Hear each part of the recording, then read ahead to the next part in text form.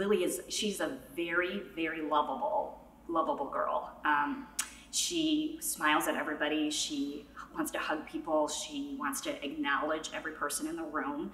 So she's just a very lovable um, and affectionate girl. Lili was actually born, she was full term, and um, we noticed right away some anomalies with her um, right away in the hospital. Um, the head NICU doctor came down and um, he said, you know, we need to we need to take her into the NICU and run some run some tests. Lili was born with a deletion on the short arm of her ninth chromosome.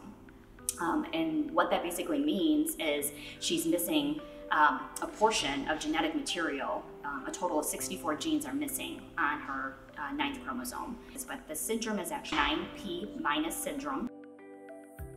Then when COVID hit, everything shut down and Lili wasn't able to receive her private therapy anymore.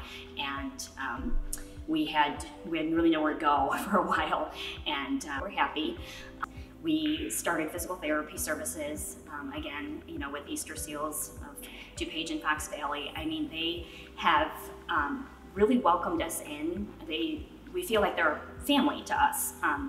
You know, I think the, the biggest life-changing thing for, for us is that they were able to take a very complicated kiddo like Lili into their home and basically address every every concern that they had with Lili and what they were going to do to help her, what they were going to do to continue to get her stronger, to continue to improve her gross motor skills, um, so that Lili can continue to function.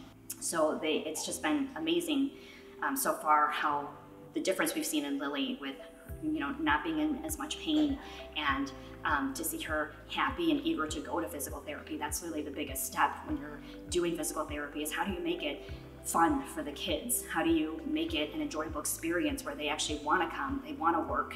Um, a kiddo like Lili is somebody who, you know, having to put her in physical therapy twice a week isn't always ideal. you know, she's not one that, you know, always wants to work hard.